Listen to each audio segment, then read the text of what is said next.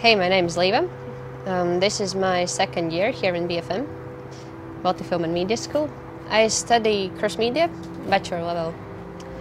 I'm very glad about my choice. I like here because actually it's it's it's cool school and our main task is to build our portfolio and, and like we should work on it and, and we should put as much effort as we can because it will help us in the future.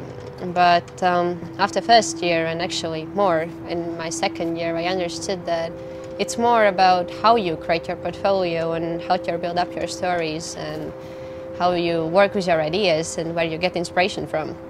Last semester was my first kind of bigger cross media project, Monsters the Clones. Our team had to develop our cross media experience actually it was transmedia experience uh, in three platforms. You're creating a whole different universe and different reality and you have all possibilities just to feel free and just to create. When I came here two years ago, then um, I wanted to grab everything that's around and, and just do as much as possible.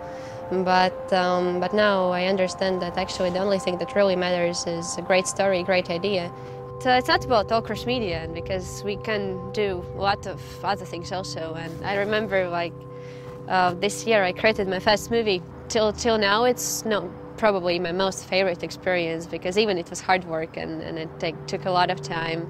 It, it was wonderful to work people I love working with and afterwards see it on, on the screen. It's, it's something, something fabulous. It's very, very wide, wide, wide, wide field.